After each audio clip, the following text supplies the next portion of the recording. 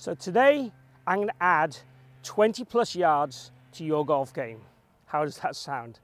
Sounds lovely to me and I wish we could make that happen instantly for everybody. But yesterday I had a guy called Bill come in for a lesson and we did that very thing. And I want to share with you the things I did that made a huge difference to him within minutes to his power. He increased his club head speed by nine mile an hour in one session and it didn't take that much effort.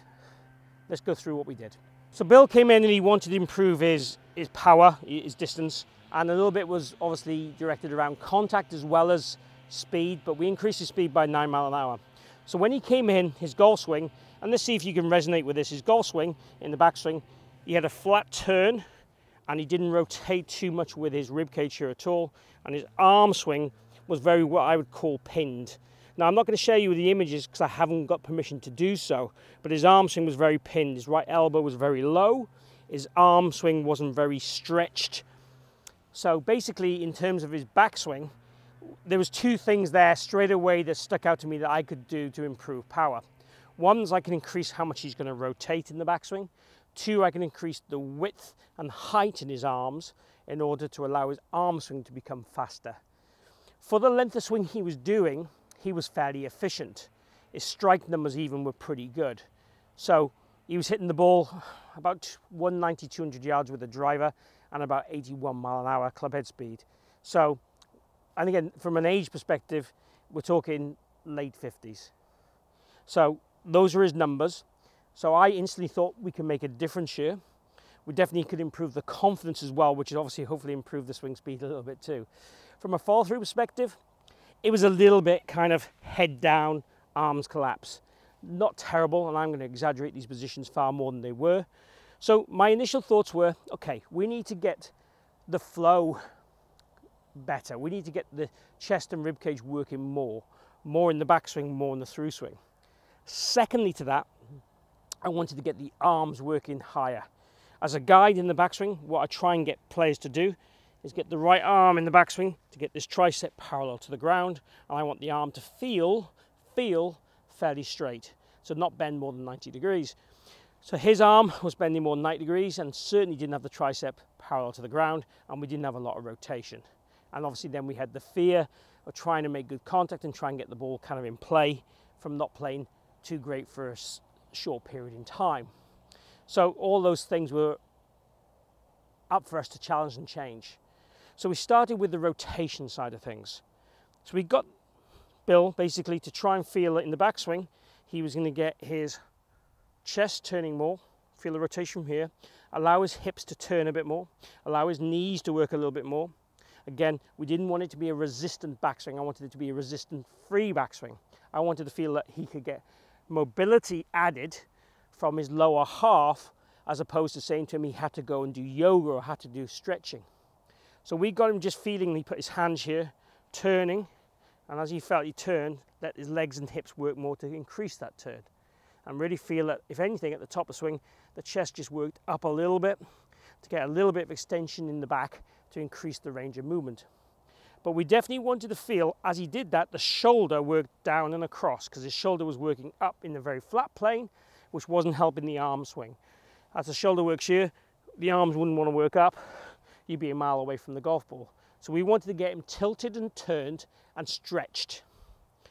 So the initial thing I did with him, the initial thing I did with him, apart from just talking him through that, was told him to get a towel I said to him, okay, make a big backswing, slap your back, slap your back.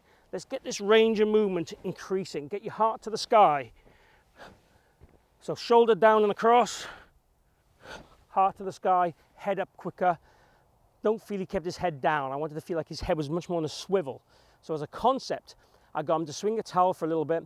Feel he had a bit more speed in the towel at the bottom, a bit more noise in the bottom where the ball was, but also felt that he really tried to hit his back both sides of the swing create that bigger motion. Once we did a few towel swings, I said to him, right, okay, just, just fire a few balls and I want you to be free. I want you to feel that you're just going to turn, hit it a bit more briskly, let your head come up earlier.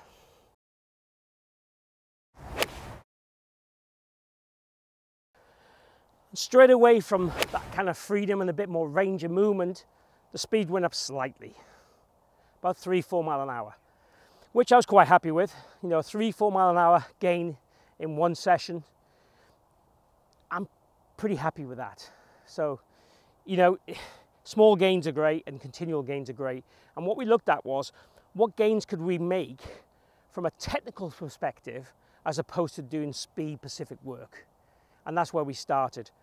So the second thing we did was worked on these, the arm swing, getting the arms to go up more. So we used the head cover for that. I put the head cover under his trail arm and I said to him, okay, shoulder down and across, and as you swing arms up, I want you to drop that head cover to get that arm higher. I didn't necessarily want the plane to be massively higher. I wanted the shoulder to be lower so the arm plane would increase its height a little bit because the arm to shoulder plane wasn't massively bad, it was just so pinned. I wanted to feel that the arm would be away and stretched. So we got him to do this with a head cover for a few practice swings.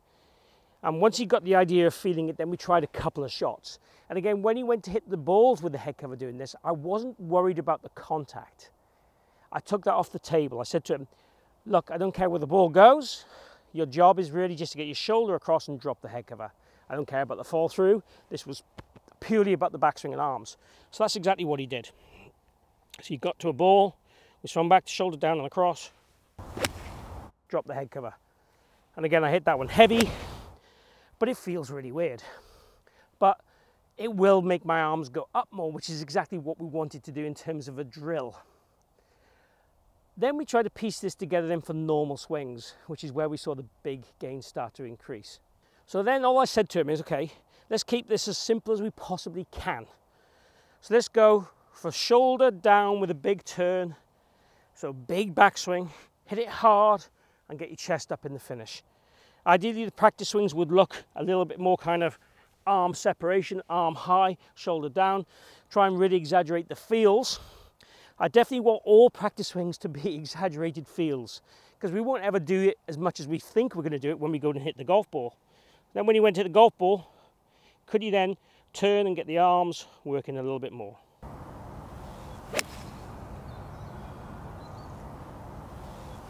And just feel that kind of motion, kind of heart to the sky, heart to the sky, and the arms feeling that they had a, that longer journey. Almost feel like, you know, we even discussed a concept of thinking about the umbrella move, which you might well have seen before on my channel and other people's channels. If you were holding an umbrella atop the backswing, how your wrist would be less cocked, your arms would be less collapsed. You'd have the height to hold the body above your head and walk down the street. And those kind of concepts are the things that really resonated with him, and I hope they resonate, resonate with you, so you can go to the golf swing and make sure you check that trail arm. Is that trail arm too low? Is your shoulder tilt too flat? Are you turning your rib cage enough? Because these things, if you're not doing them, are distance killers. We need to make sure you're maximizing your opportunity to get the most distance without getting in the gym, without stretching like crazy. Obviously, if you do those things on top or any overspeed work on top, it will increase further. And that's where we're going to go with Bill a little bit. Not so much the stretching, but we're definitely going to do some speed training with him in certain exercises. Once he's got used to getting this arm swing and shoulder turn and rib cage turn a little bit more increased. Once he's done that, then we'll do some speed work to see if we can get him up a few more mile an hour.